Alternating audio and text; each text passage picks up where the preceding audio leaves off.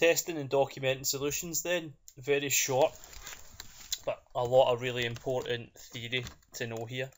So first of all, you have the three different categories that test data can fall into.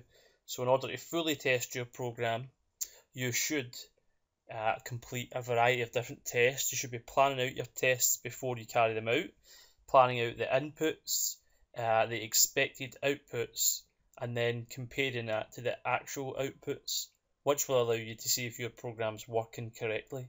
And now, the first type of test are normal tests, and how we would describe these are any tests where you input data that is within an allowable range. So if you take, for example, the months of birth as an integer, you would only be able to enter data that's greater than or equal to 1 and less than or equal to 12. So any normal tests would be from the numbers 2 until 11, including all the ones in between. And they're within the boundaries of expected input. Extreme test data is where you test on the boundaries of allowable input. And for the same example, the only two they could really test are right on the boundaries are 1 and 12.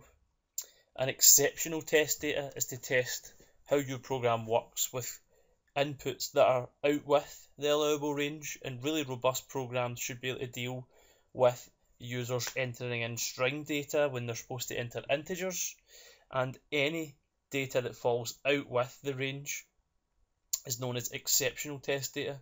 So entering 100 for that same example or minus 10 or our class's favourite to write down the name of your, your favourite superhero.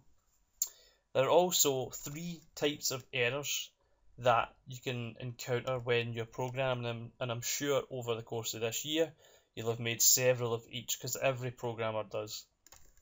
And these are syntax, execution, and logic errors.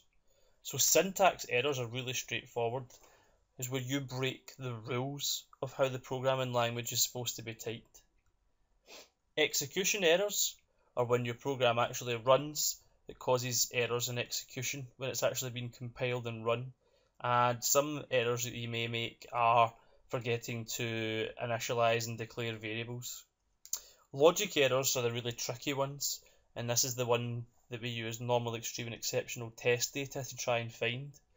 Now, your program should run and execute no problem. Uh, it should accept the inputs and produce outputs and this is usually where you would make mistakes in the, the thought process, the thinking, the logic behind your program. And for the example we were using before for the days, or sorry, the, the months of birth from 1 to 12, some of the usual logical errors are using greater than when you mean to use less than, or greater than equal to when you mean to use one of the other comparators.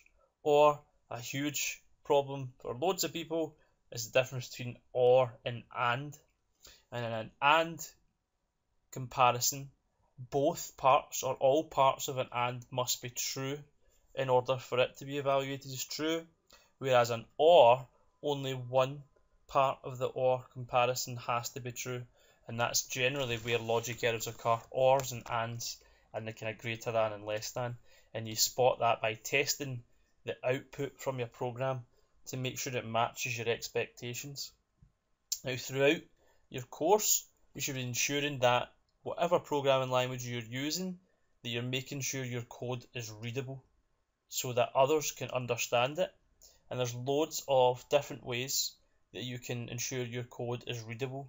So internal commentary by explaining what each line of code in your program is doing, it means it's more maintainable for other people to come along later on, or if your teachers try to help you understand your code, if you're trying to explain what you're doing, it means people can understand what the line of code is trying to achieve.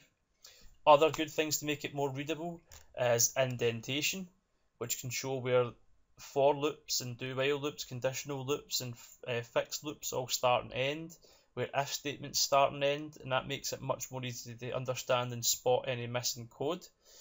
Uh, meaningful variable names, rather than having variables called x, y, and z, it would make more sense to give them a sensible name that just by reading the name people would know what the variable is used for.